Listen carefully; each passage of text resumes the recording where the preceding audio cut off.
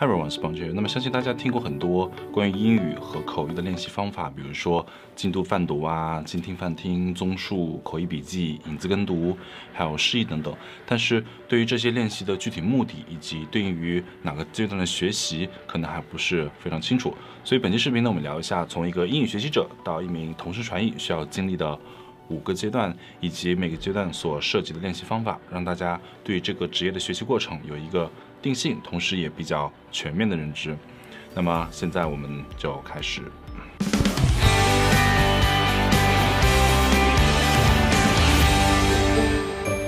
那么第一个阶段呢，是提高语言能力。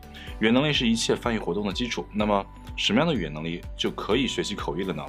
一个定量的参考标准是雅思总分六点五，单项不低于六，其中口语不低于七。那么这个分数也是威斯敏斯特大学口译专业的录取标准。那么你可能会想，口语六点五还好也，好像不是很高的样子。那么这里需要声明一下，因为录取本身是一个多维度的过程，除了语言之外还看很多东西。每年都会有很多雅思八点五分然后被拒掉的人。不过这里我们先不谈。那么仅仅针对语言能力本身，这里也需要强调两点。第一个，这个分数只是代表你可以开始学习口译，并不是说你可以直接去。做口译，所以在达到六点五分之前，提高英语能力才是你的第一要务。先打好语言基础，别去想翻译的事情。那么第二呢，语言能力是一个终生学习的过程。即使你的考试到了某一个分数，也不要停止双语的学习。那么在好的高翻里边，雅思八分以上，或者是托福一百一十五分以上的同学还是蛮常见的。那么这并不代表你可以去做一个好翻译，而雅思、托福听力满分。但是二级口译综合能力挂掉的人也大有人在。不过这有一个好处，就是翻译更多要求你对语言本身的应用，因此呢，对于英美文化或者是语言学，并不需要有很高的把握。也就是说，你本科并不需要去学英语系才能做翻译。而事实上呢，在国内外的高翻里边，每年的新生都会有相当比例的学生是非语言的背景，那么专业反而会成为他们的一种优势。所以在这个阶段，大家需要。大量的输入和输出，也就是大家比较熟悉的听说读写方面的练习，比如说精读啊、泛读啊、倾听啊、泛听啊等等。那么具体的操作练习方法，我们会在其他的视频中单独讲解。那么第二阶段呢，是思维的转换，从英语思维转化为翻译思维。那么大家都知道，双语好不代表就可以做翻译，那么中间的 gap 在哪里呢？那么一口译来说，听力理解能力是重中之重。而口译的听力和英语考试中的听力是有本质区别的。英语考试中的听力是被动的听力，叫做选择性听力 （selective listening），而考生需要的是抓住某一个词、某一个数字，或者判断某一个信息是否正确，而与题干无关的内容不需要过于关注。因此，在这点上，大家练习的主要方式是精听和听写。而口译的听力是。主动性听力叫做 active listening，需要听者边去听边去分析讲者的讲话，从中总结出他希望表达的意思，并且记住，还要判断出整体讲话的走向等等。比如说。开题二口综合能力的最后一题，就是要考生听一篇六百字的文章，然后写篇两百字的综述。那么在这个阶段，主要练习的就是意群的划分、段落的总结、综述、记忆能力训练等等。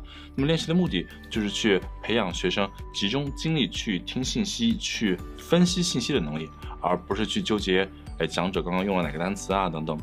过于纠结字面会带来很多问题，比如说常见的字对字的翻译，比如说这句话中。满嘴跑火车指的是一个人说话不着调，所以口译的时候直接处理成 He is full of crap 就可以了。那么如果过于纠结字面的翻译，处理成 His mouth is full of trains，反而会让人听得一头雾水。那么这阶段的最终阶段就是无笔记交传 （Consecutive interpreting without notes），也就是学生可以在不依赖口译笔记的情况下，可以只依赖听力和记忆去翻译一段长度不是很长的语音。那么无笔记教程之后呢，就进入到我们第三个阶段交替传译。经历了前两个阶段之后，学生应该已经知道了如何去分析信息、去听取信息以及记忆，从而做到无笔记交传。但是真实的口语环境中，讲者并不会每次都非常友好的只讲十几秒就停下。另外呢，译员每天工作的时间也不可能只有两个小时这么短。在这个阶段，学生才会开始进行口译笔记这项技能的学习，这样译员呢就可以长时间的从事口译，比如说一天八小时，并且依然可以保证口译的质量。当然，口译笔记是一项很综合的技能，具体拆开来还可以说口译笔记的结构、它的符号、它的学习设计、实战中的应用，以及一些细节的处理方式，比如说数字口译应该怎么记，从句应该怎么记，才可以更好的帮助我们翻译等等。那么这里呢也不一一展开了。同时这个阶段，一般老师也会带着学生，或者学生自己也可以找机会去进行现场的观摩，来看看真实世界的会议和口译是怎么进行的。那么第四个阶段呢是示意和影子跟读。严格来说，这并不能称之为一个阶段，因为他们和教传上并不是严格意义上的先后学习关系。那么示意呢，一般也可以和教传一起学，而影子跟读大家也知道。在最开始学英语口语的时候，实际上就可以作为我们的练习方式之一。只是因为这两个是从交传过渡到同传的重要练习，所以我们姑且把它称之为第四阶段。那么示意为什么这么重要呢？因为接触同传之前，我们只接触过笔译和交传，而同传和这两者相比，有一个最大的不同点，叫做零碎与超前。那么这是什么意思呢？在笔译和交传的时候，我们至少有机会看完或者听完一个完整的译群，再开始进行翻译的工作。而同传只给你部分的信息，同时你也不知道讲者在下一秒会讲出什么话来。比如说，我们看个例子。If you look at this chart, which measures the world's languages in terms of their size and their state of health，那么在笔译时，我们有充足的时间去理解每一个词，并且写出译文。所以最后的译文大概是这个样子。这张表从使用人数和流失程度两个维度评估了世界上的各种语言。而交传时，因为议员需要在讲者结束之后两到三秒就开口，所以除非你的汉语功底非常的深厚，否则呢是没有太多的时间去追求高质量的语言润色的，保证正确，并且会议可以正常的继续下去就好了。因此呢，交传的译文大概是这个样子的。If you look at this chart, which measures the world's languages in terms of their size and their state of health，那么这张图片呢，从使用人数以及语言的存在情况评估了世界各国的语言。而在同城的过程中，如果议员听到 state of health 才开始翻译，那么肯定已经把前面的文章已经忘光了，翻译的质量就会很差。因此呢，我们就需要借助一个技巧，叫做顺句驱动。那么顺序驱动指的是在尽量不改变原文文法的结构的情况下，顺着原文的文法结构翻译，从而呢减轻我们记忆的负担，节省出更多的精力去应对出新的信息。那么加上同传过程中呢是争分夺秒的，意思到了就行。所以同传的译文大概是这样：图中描述了全球语言的使用人数和流失情况。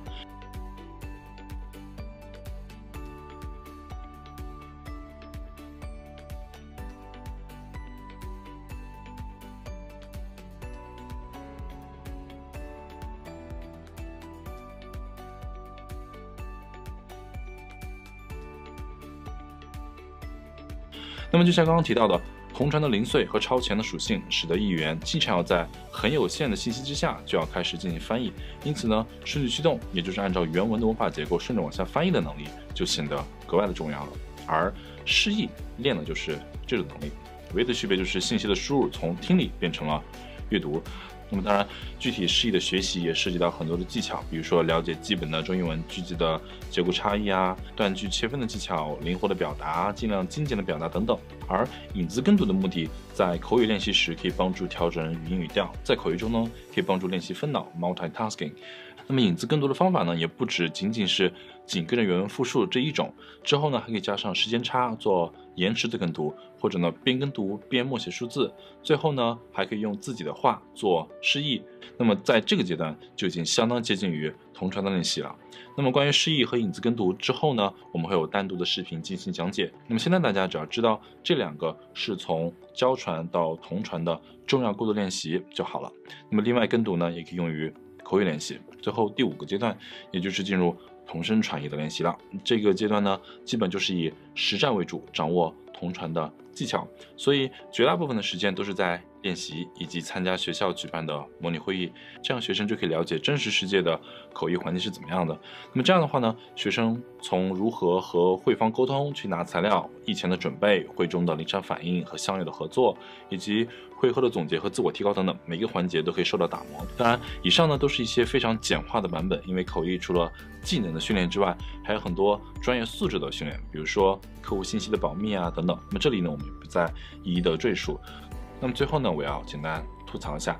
大家可以看到，口译和笔译的质量标准实际上是不一样的。但是市面上有很多口译的书籍提供的参考译文，实际上都是人笔译出来的，并不符合我们口译的真实情况。因此呢，这会给练习的人带来一个很不好的影响。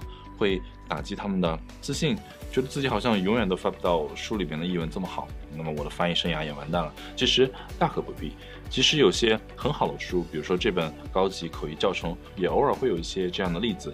但是毕竟都让人口译出来，再转录的话，工作量实在比笔译大太多了。因此呢，编者也没有这么多的时间。所以呢，最后大家在练习口译的时候，发现原文提供的译文质量极高，已经接近了笔译的质量，那么大可不必灰心。只要要求自己翻译的内容是正确的，这样就可以了。所以刚开始学习口译的时候，不必过于纠结，这是一个长期积累的过程。那么以上呢，就是从一名英语爱好者成为一名同声传译的五个阶段。那么如果大家有任何问题，请在评论区留言或者是邮件咨询。我们下期视频见喽